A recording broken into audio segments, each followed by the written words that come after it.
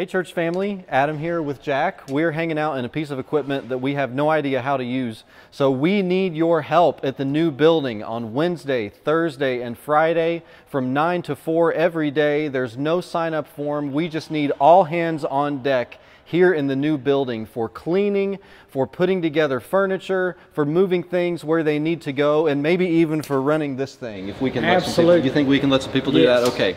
All right. So that's work days Wednesday, Thursday, and Friday from 9 to 4 at the new building. Hope to see you here. See you there.